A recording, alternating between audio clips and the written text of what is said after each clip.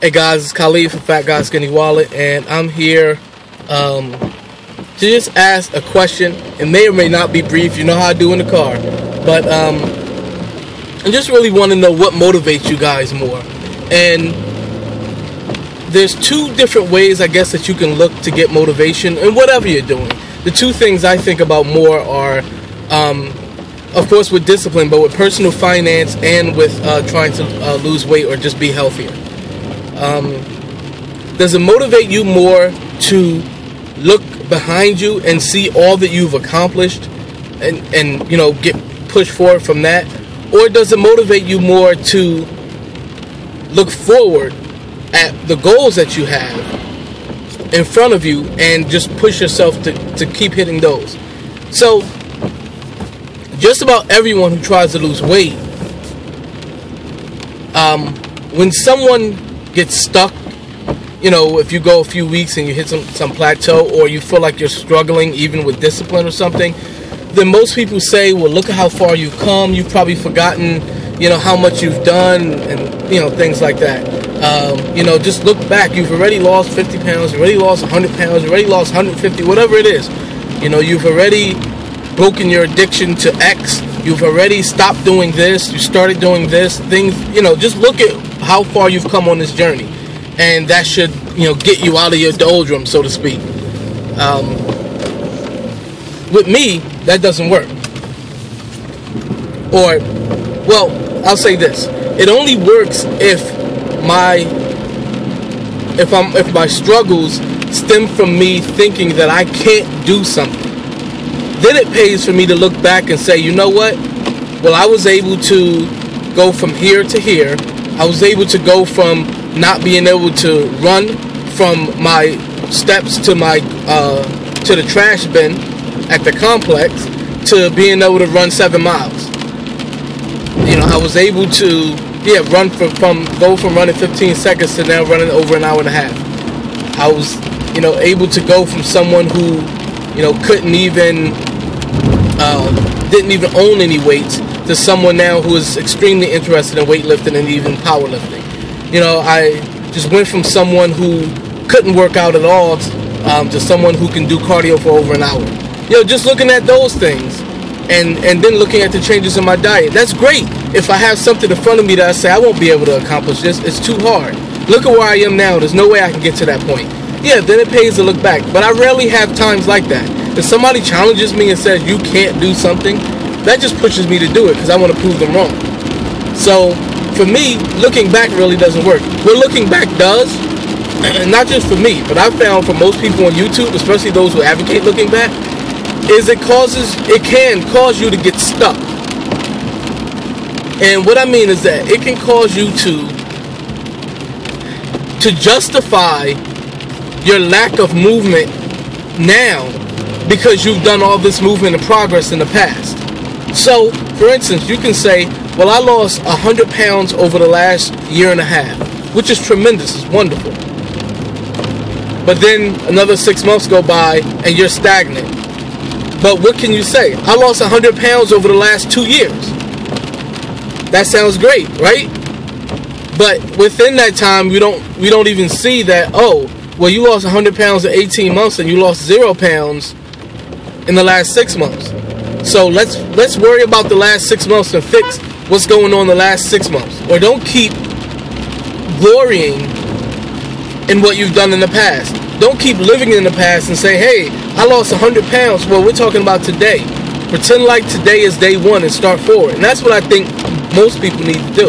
I think we look back way too much. But, you know, I mean, that could be me. I mean, I'm looking at myself, but I'm also looking at a lot of other people. Um, I remember when I lost 30 pounds, and that's that's nothing for a lot of people. But you know, I lost 30 pounds, and it was the most that I ever lost in my life. You know, with all these times I said I'm going to lose weight, it's real this time. And I lost 30 pounds, and I sat back and was like, wow, I lost 30 pounds in I don't know how much time. And then like another few weeks went by. Then it was a month, Then it was a month and a half, and maybe two months, where I only lost one or two pounds after that. And I looked and said, wow, you know, I need to stop looking at my progress as I've lost 30 pounds in X months. I need to look at my progress as over the last month, over the last two months, I've done nothing. And I need to figure out why I haven't moved and correct that. Not keep pacifying myself by the fact that I did good one time in the past. So for me, that doesn't work. Looking in the past, I need to look in the future. I need to set goals. But my goals can't be so far in the future that they have no effect on today because I tell myself I can start hitting them tomorrow. So I need a balance. But you know, so so I need short-term goals for me. Some people, you know, don't. Some people need different things. But I found that just about everyone that I've looked at on a weight loss journey who struggle, especially those who make videos on YouTube or blog, um, get into trouble when they start to look and say, I've lost X amount of pounds from day one. You know, like I said, you'll sit and say that, and that, in that same example, you can go to two and a half years and say, I lost 100 pounds over two and a half years.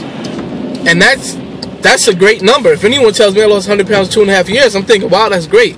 But if you tell me I lost 100 pounds in the first 18 months, and then in the next year I lost zero, then it's like, okay, whoa, what happened in that in that other year? You didn't lose anything. Let's focus on that. Yeah, it's great what you did before the first 18 months, and if what you did then isn't working now for whatever reason, change it up. Don't keep doing the same thing over and over, and then hit that, um, you know, hit that mark and say two and a half years, I still lost 100 pounds. You know, because then you're going to end up three, four years and say I lost 80 pounds. You know, um, so I just think, you know, for me, and honestly, it's not just for me, it's for just about everybody else I've seen who stalls on YouTube after a great period of, of losing weight. And then there's a they hit a wall. And usually all the talk in every video or every blog post becomes this is what I've done since day one. And I'm proud of that. And you should be proud of that. But there's a point where we have to cut that off. And today has to be a new day one. And we have to start moving forward from today. So how do you guys look at it those of you who do like to look at from the original day one how far you've gone till today um, does it really motivate you? Does it really push you? Or does it just, man, look, I mean, be honest, really look at yourself. Or does it kind of give you an excuse to slack off or give you an excuse to not make a lot of progress? I'm not saying you're purposely stunting your progress, but I'm just saying that when you look at the fact that you haven't made progress, are you really examining that and seeing what's wrong and trying to fix it? Or are you falling back on the crutch of, but I've lost X amount of pounds since I started? Yeah, but that start is over. This is a new period. So look at just really look at yourself and decide that, and let me know because, as you know, I'm dealing with some stuff that some of it may be uh, physical things that's going on that's you know causing me to really struggle for motivation and struggle for a drive. But um, you know, I tell you now, looking back really doesn't work for me, and I need to look forward to goals, and I really need to uh, look forward to to smaller goals that I set for myself. And really, challenges are best for me because a challenge really says to me, you can't do something, and then I have to prove you wrong. So that's really the biggest thing uh, for me. I just don't have the time to organize a challenge right now. So, um, you know, that's that's pretty much it. I just really want to know what your opinion is, and I want to know those of you who do use that whole "I'm going to look back on my journey." Um, how do you guys avoid using your prior progress as a crutch or as something to kind of soothe or pacify you when you see that you're struggling?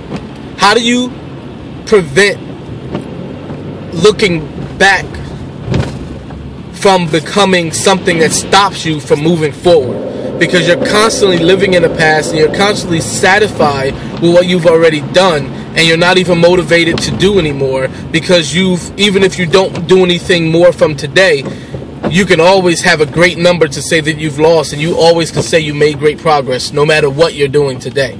So how do you stop yourself? Or do you? You know if you really look intensely at yourself are you stopping yourself from doing that or are you falling into that trap and for those of you who only look forward and don't even look back um, how do you set smaller goals? What do you do to set smaller goals um, so that the your ultimate goal doesn't become so far away that it, that you seem almost detached from it? Yeah, so let me know. And the Fat Guy Skinny Wallet, uh, Khalid signing off. Hope you guys have a great day driving to work in the rain now. And uh, just remember, it doesn't get easier, you just get stronger.